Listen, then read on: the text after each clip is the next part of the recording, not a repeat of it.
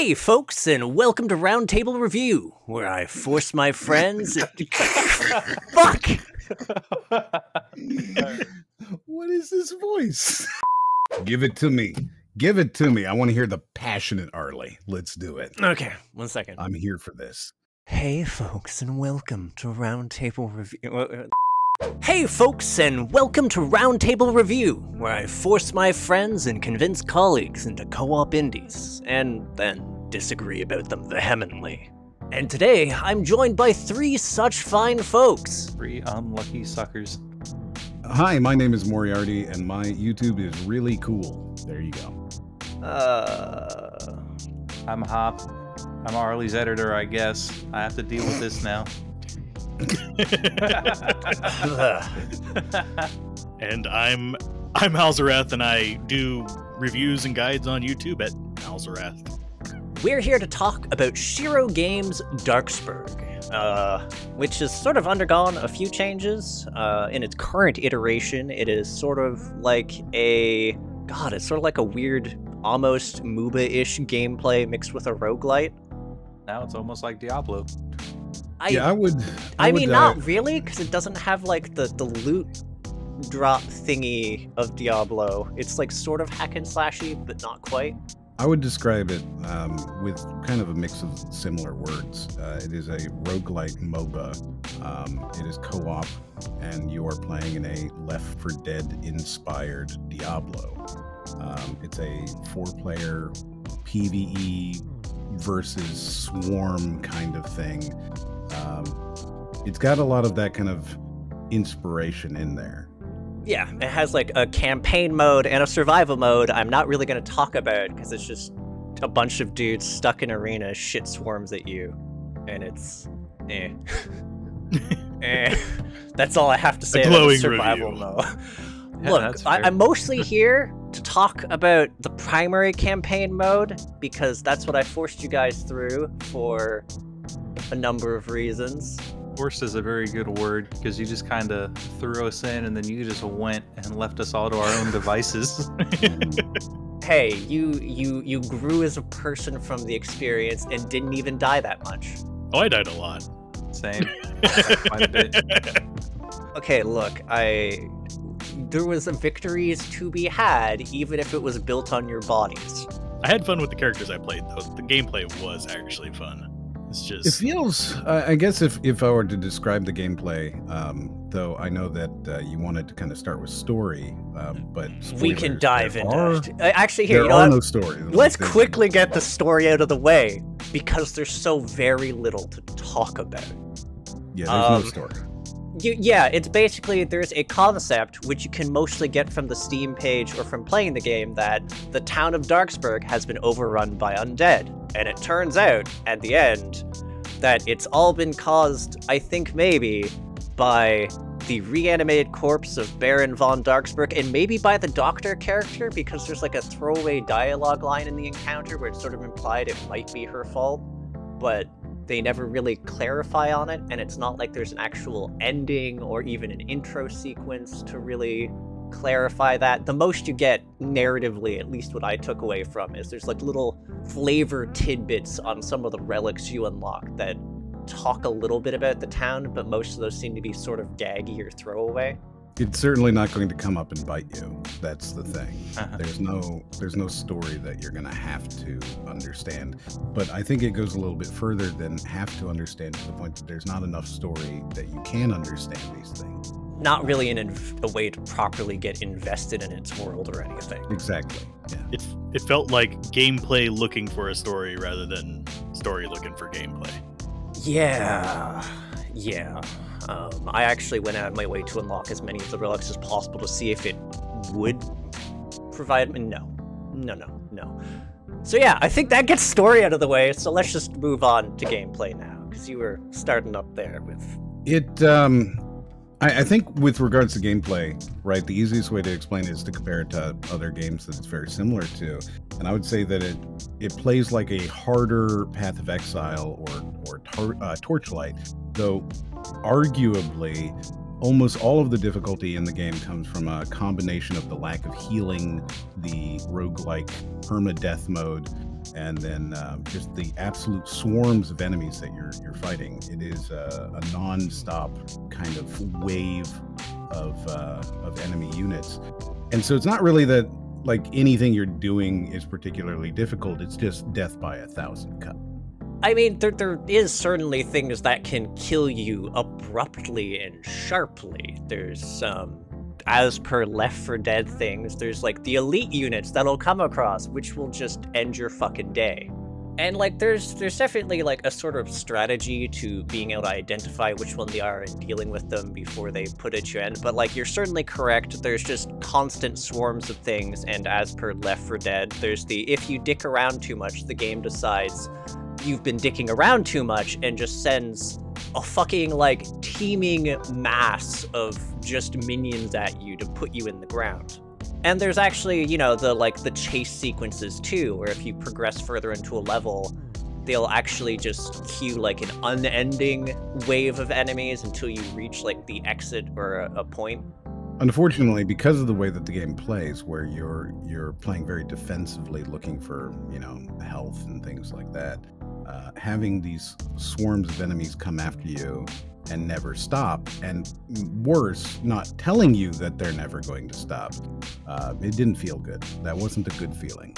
No, that was very annoying. I, I think the the awkward part about that was when because it's what happened. I think that was the worst experience was one of us opened a door and a gate and it queued the endless swarm mode, but the rest of us had been holding a defensive position because we have to scavenge level to get the gold we need to like buy shit and like the the relics and the little uh what the fuck are they called like the ingots you need to buy permanent meta progression and so we're just sitting there trying to explore and deal with the normal issues not realizing that like the gates of hell have fucking shat up onto the streets and are coming for our asses Communication is definitely essential in it, and it's kind of hit or miss.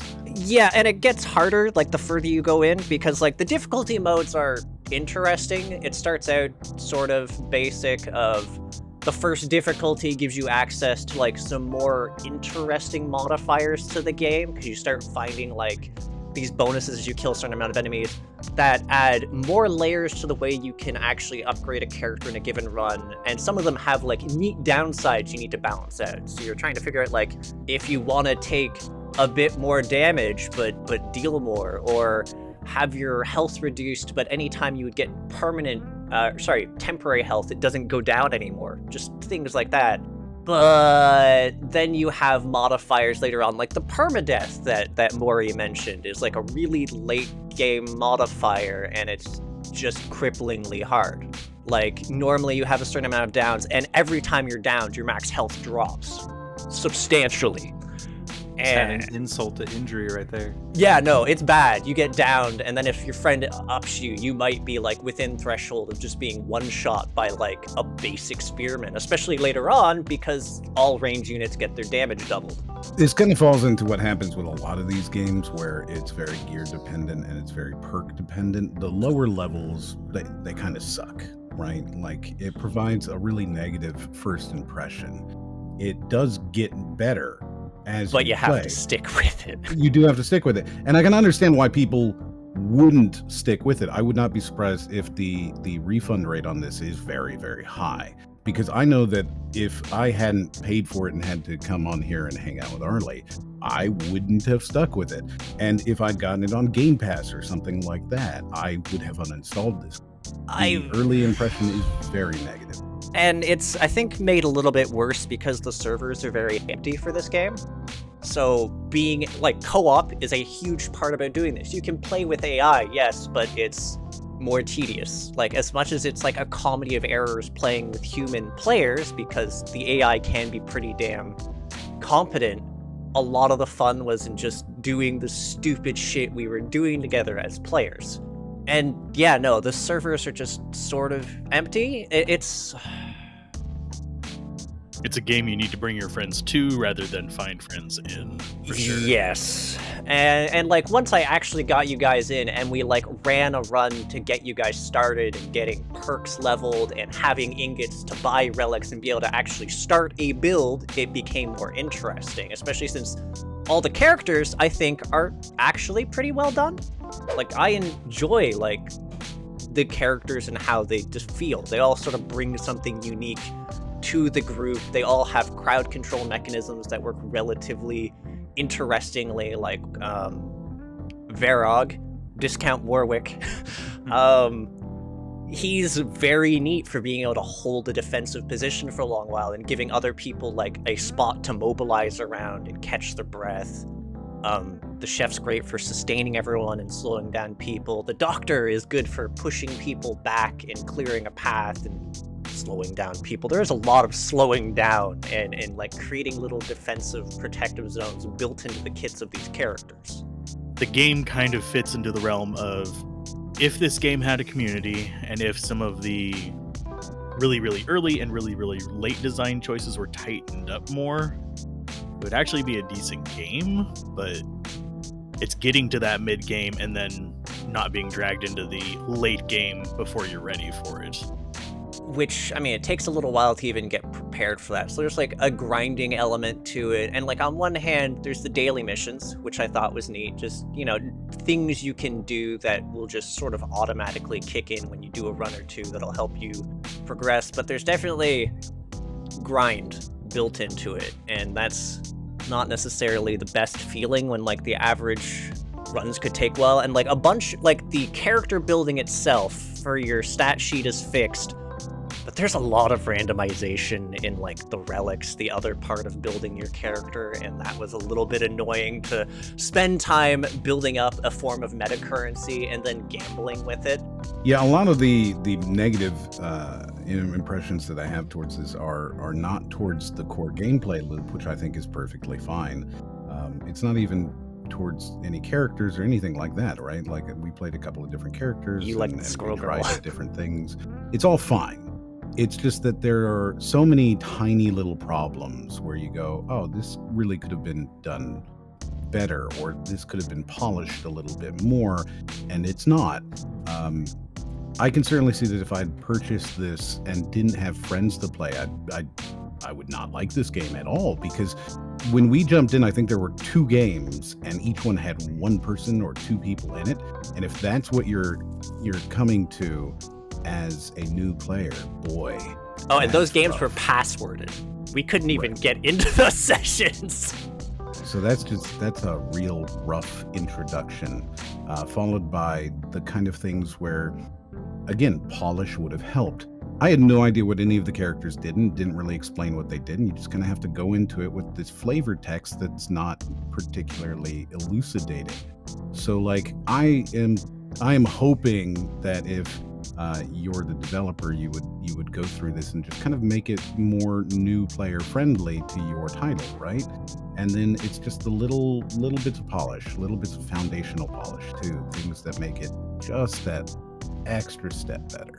Like, I think honestly, for me, where the game really picked up was recently for the first difficulty mode of the game. They added those runes of power. Because normally, as you're leveling up through the game, you get to pick perks and and so you have like the bit of your loadout that you start out with your character sheet for the respective characters and then like the relic things and then as you level you choose like a randomized perk that's specific to the character that helps to build your overall skill set and and synergizes with your loadout and the fact that there's randomization in there, I don't really have a problem with. It makes the runs not be quite as samey as they would. It requires you to sort of improvise and figure out how you're doing, and then you factor in the tomes of power, which also give you bonuses, and then the runes also build on top of all of these little synergies. So I think it was like the first difficulty is really where things got to be like the sweet spot for difficulty for me, because that's where you got to have the most variance and just having fun building and figuring things out. Because everything past that first difficulty is just getting kicked in the dick harder. Which I'm fine with. I beat the final difficulty of this game. I put the time in. You're a real trooper. Definitely put in more time than I could justify doing with the game.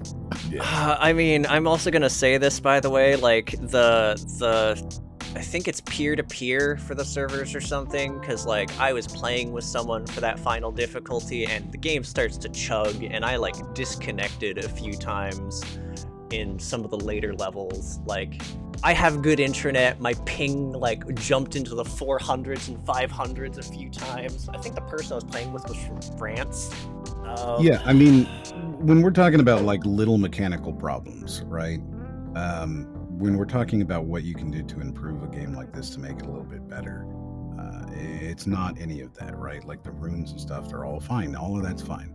It's things like, personally, I found the visibility to be nearly zero, right? I had to tunnel vision focus uh, to, to kind of see what's going on around my character versus some of these games that do have a little bit more of a uh, cohesive style and a cohesive graphical approach to their enemies and things like that where things are visible at all times and you kind of know what you're doing and you don't you don't have to just focus on where your character actually is Oh, And I right. feel like I, I need to add on to that, if you don't mind me interjecting. The mini map sucks. it does It sucks so much and it complicates trying to find where your teammates are and where anything is and if you've been somewhere before because while you can sort of count on bloodstains to figure that out, they eventually fade away.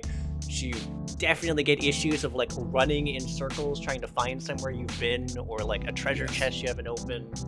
and that is all made a lot worse by the constant enemy spawns that come from behind you it would be i think pretty beneficial if you could have some sort of either safe area or um, enemies only spawned in front of you or they moved through a path from designated areas some way to tell you where you needed to go i can understand why you might want confusion in certain levels but you shouldn't be confused all the time I mean, I felt the game did sometimes give you breathing room where it's just trickling nonsense at you, but like, yeah, there's definitely times where it's just a stream of nonsense. I I don't know if I'd call that breathing room. Just all the constant enemies and that constant freaking chip damage was really annoying. It really just falls back on that Left 4 Dead formula where you have the one safe room every now and then, and everything else is you're gonna die. yeah, which I mean, I was actually gonna note this. One of the things that I sort of had like a weird thing with is as you scale up in the difficulties, you get less breathing room. And you guys were already like, we don't have much breathing room to start with, and the game's just like, ha, ha. Those fucking patrols of like the the dread guards, the things you're like sort of supposed to avoid, though you can fight them. They start sending them at you in like swarms of 20, and where you like alert one, everyone in the stage or in the respective area gets triggered and comes at you. It's the most annoying cancer I can think of. I did actually not mind um, the one difficulty mod. Like we've talked about visibility, and since the the map's useless anyways, basically. Um, one of the later difficulty modifiers actually does disable you being able to tell where your teammate is at all. You don't even get a marker, which makes communication and like tight teamwork a lot more important. And I thought that was interesting as a difficulty mode modifier. Like that's the only difference that hitting that specific level makes. Yeah, no, it's mechanically an interesting experience with a lot of tedium sort of built in in, in getting to that satisfying experience. Which is how you pitched it to me, actually. You, you'd mentioned that this is a game that you think is mechanically very sound and has some interesting things and does some interesting things. And, you know, it, it could be very cool, but is flawed.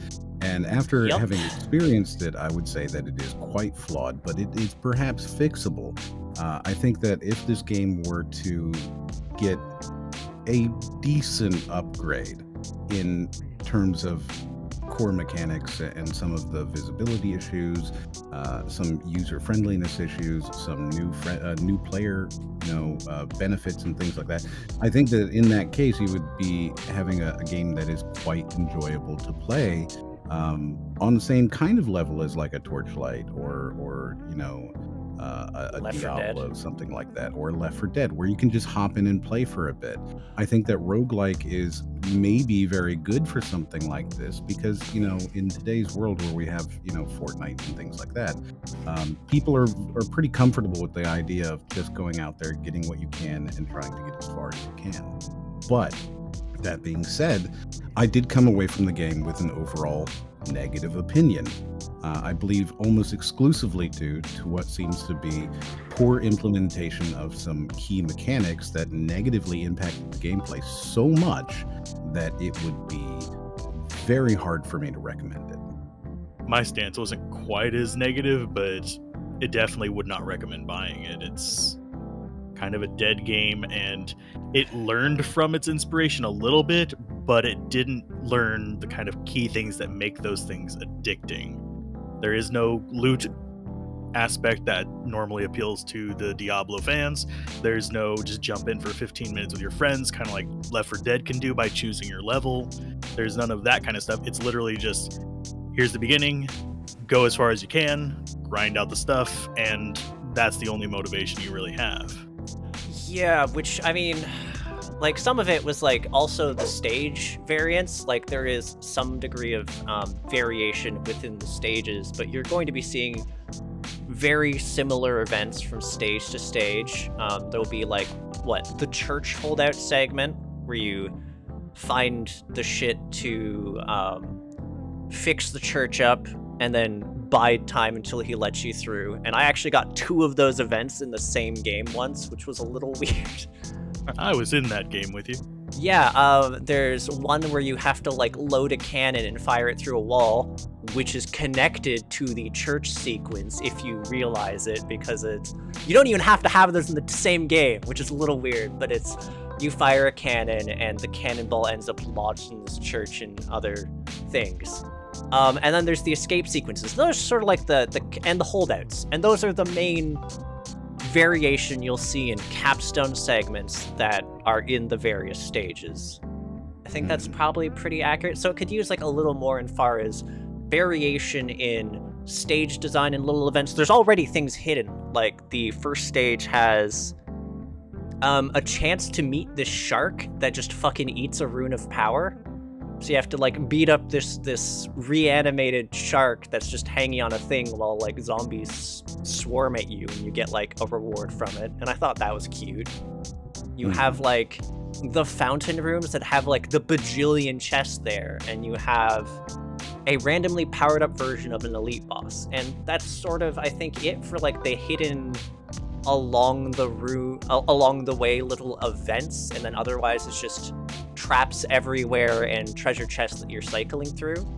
So you it, it could use more i think events and little opportunities to tell the story to actually like tell the story a little bit and to make the runs stand apart other than checking dead ends for chests and tomes. I, I mean, it's just you're going through the same fucking four areas every time. I was sort of wishing that you had like area variety that you could get through, like just like a different route you could take, because you're always coming across the exact same fucking boss. And the experience is very, very much the same, except that in higher difficulties, he just spawns more garbage during the fight. That is basically it. He has more health, which it's not a bad boss fight per se. The idea of he fights you, he occasionally pauses certain stages to put down a few fucking um, totems they have to break so you can keep whittling down his life, and while he does it, he summons elites. That's okay. That's fine. But it's really fucking tedious when you get into the higher difficulties because there's just enemies everywhere, wall to wall, like elites everywhere, and he's just not giving you breathing room to actually whittle him down because he's just like, oh, you broke my totems? Have more garbage, I'm running across the screen and I'm summoning more totems again. I think it's telling from all of this, by the way, that you were the only one who mentioned story uh, elements at all. And uh, you definitely spent the most time with it. And you're also the type of person who will go looking for those type of things. So it is definitely not there. No, it, it's like I, I like I was being generous in saying what I could find. They are tiny little lore nuggets at best, and most of them boil down to just sort of punchlines. Uh, my biggest takeaway is that I thought it was boring. I felt like there was nothing really pushing me forward, and the waves of enemies just constantly coming at me just made the whole game a slog, really. I, I just felt there's really no reward to be playing it, to be honest. That that's also why I didn't drag you guys to the survival mode. The survival mode is, I think, the biggest weakness of the game because it's just like a slightly large room. Um, you could like probably walk from one end to the other the other room in like 15 20 seconds like that about big maybe a little smaller. Um and yeah you're just sitting there holding off waves of enemies and you fight the baron like once at level 5 and once at level 10 and that's all there is to it. And i thought that was miserable as an experience which is why i put you guys specifically in like the main game because it at least has something to offer there were some issues with some of the enemies that made it feel even more sloggy because they were kind of bullet spongy which for this type of game you want things to if they're going to be spawning quickly you want them to drop quickly. You want that kind of power fantasy aspect going into it even if it's supposed to be a survival game and this just doesn't do that. I mean, some of it I think is the modifiers that the game can randomly slog you with. Like, there's one that makes all the enemies more durable, and then another one that can be randomly generated that makes them regenerated, which is just sort of cancerous together, because it makes, like, the normal enemies very much just bullet sponges, unless you're, like, super optimized as a build, which is partly our Jesus to get to. So, yeah, no, that's definitely, I, I think, very much like a valid concern, especially as you start ramping up higher difficulties. I think I partly just have like a weird, I've put so much time in this game, I don't want to hate it. Sunk cost fallacy Possibly, like, I sort of enjoyed playing it, but I think I partly enjoyed playing it with you guys because I got to hang out with friends and got to see everything it could bring, which made it like a little more forgivable for a bit. And then I was like, okay, but now what? that's kind of a flaw that happens with a lot of multiplayer games. They forget to design the game because they're relying on that it's better with friends aspect. You see it with MMOs, you see it with a bunch of first person shooters. If you don't have friends in it, you're just not going to play it. Yeah. And that's solved by good game design rather than just throwing more crap in there. Yeah. Um. So yeah, I mean, I mean that's about it. I, I guess the only thing I will say is I liked the character design. Like they've played different enough that there's something there for everyone. Yeah, the artwork was fine. The graphical aspect of it looked good. It's just Unlocking skins is a little annoying. Unlocking skins is fucking tedious.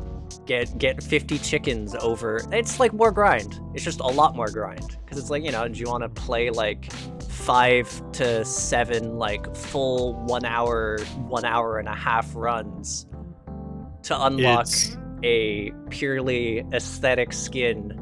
it's games as a service design leaking over into indie stuff, and it's a bad thing.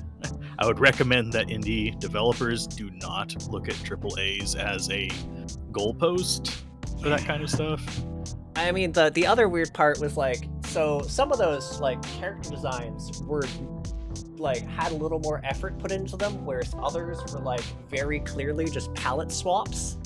I think they would have been a little bit better if they would have been tied to challenges rather than tying it to here's a currency you can gather while playing and build up enough of it.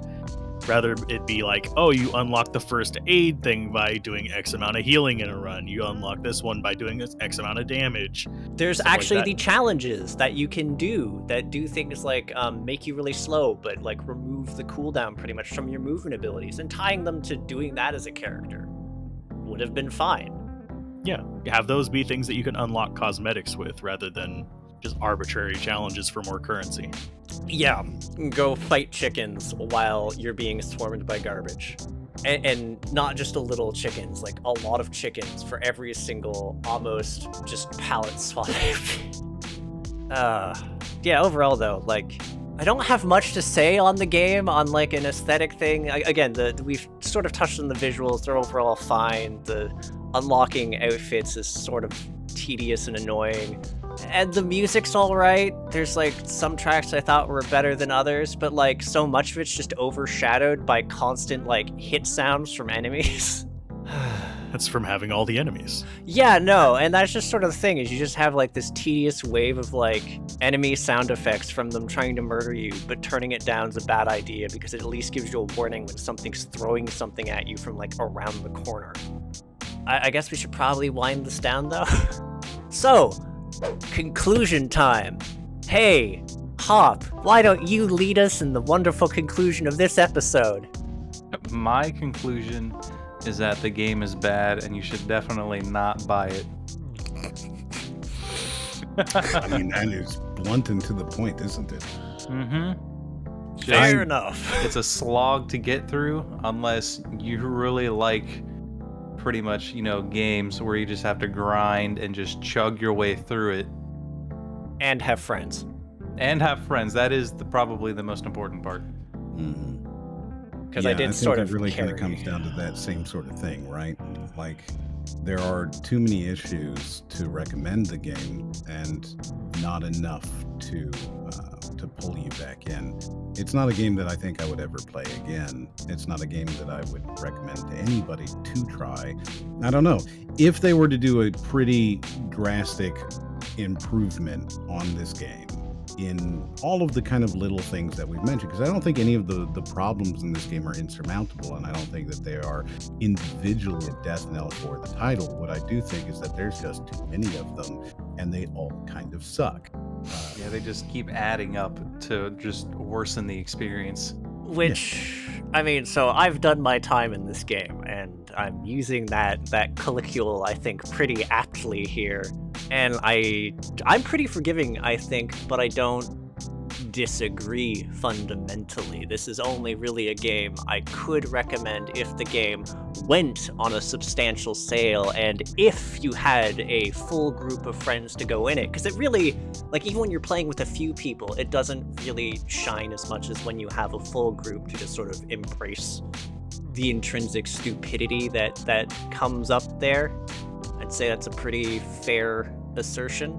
It's just a little tedious to get started. Like you do need that little start to really start to to make progress and for it to start feeling good and for people to get used to rules so it's just not like this very like our first couple runs together were just bad feeling until we got everyone to speed and i think that's just sort of it. Like i've put so much time into this game and so many different iterations of the updates and the, latest update which i think might be the final one they have planned unless this video changes something because i think they mentioned they're not working on developing it currently but hey maybe this will give them a kick in the shin. There's a, a, a fundamental like a foundation there for something good but it's not followed through with yet. Which is why i'm really hesitant to say more than like i think it's sort of a fumble. There's good elements but they're overshadowed a lot and then in the state of the game itself it's why i'm just like I, if you are absolutely dying for something that would give you i guess like similar feelings to um i don't know if anyone else played this but dead island epidemic the like MOBA-ish Dead Island game that was out for a little while. It's maybe the closest thing you'll get now that I can think of.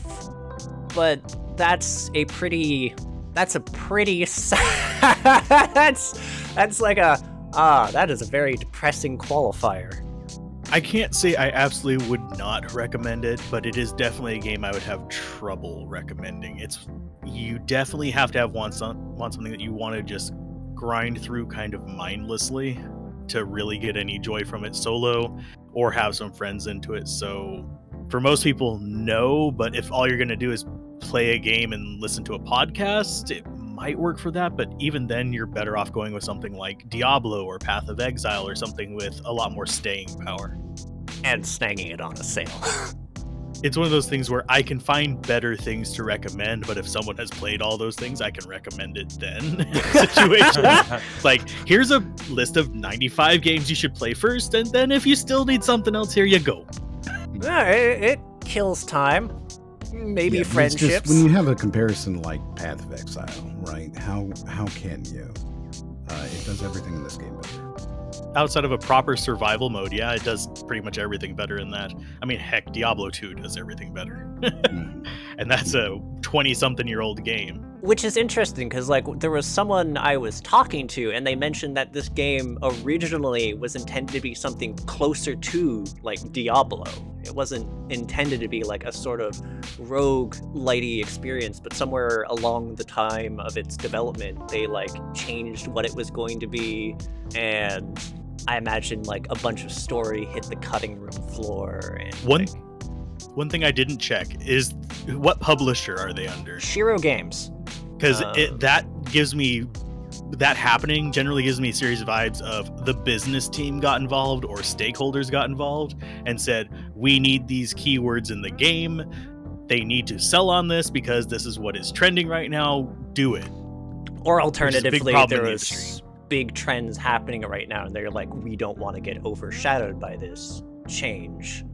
yeah because it came out during the survival game and the um i'm trying to remember the roguelite kind of big waves that were going through and everybody was using those terms because that's what was making profit I also like fired. I had like this fucking glitch that kept hitting me, and it took so much fucking joy out of my runs, except for Hop, who was like, "Man, I'm so happy to see you eat shit, Arlie." Where, little bastard.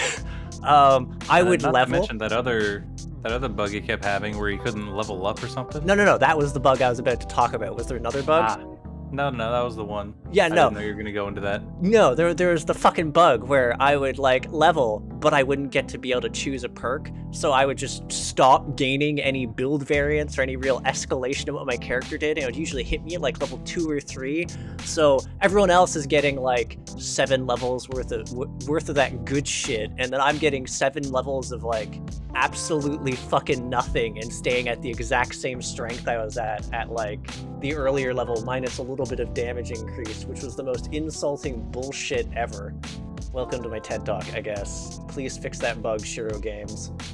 So, anyways, folks, first off, I'd like to say thanks for tuning in and sticking with us for this first sort of experimental episode of Roundtable Review. If you enjoyed this, feel free to leave a comment. I'll possibly get more of these done, and, and we'll see more of Moriarty, Hop, Alzorath, and other people, provided they forgive me for making them play Darksburg. Um, and you know, if you just agree, disagree, or have something to say, comment. It's great. You can also just wait. Can they even thumbs down me anymore? They can. It just won't show up on the front end. Yeah. yeah, no. If you absolutely hate my my taste and opinion, feel free to thumbs down me, or you know, agree. But nobody else will know. No one else will know. I'll know. You'll be able to hurt my feelings. Oh, and if you folks enjoy my efforts to create new indie reviews, interviews, and gaming content, you can hit the subscribe button and the bell so you know there's a new release. For the Discord savvy folk, click the video description to find the link to my community, the Crit Hit Cauldron, and also my sad Patreon, where one day there will be cat pictures, because that's that's the only thing I can think to offer the world is photos of my sweet, endearing fumble. Um, lastly, if you want to see me get dunked on in indie games, such as Darksburg and other things, you can check out my Twitch at twitch.tv slash Arlyeon. There's also, in the description, going to be a link to Alzorath's channel, Hop's Twitch, and Moriarty's channel and Twitch, unless he doesn't want me to put his thing. It's a very cool place. You should check out that very cool place. That said, I'll catch you folks on the next episode of Crit Hit. Take care till then, folks.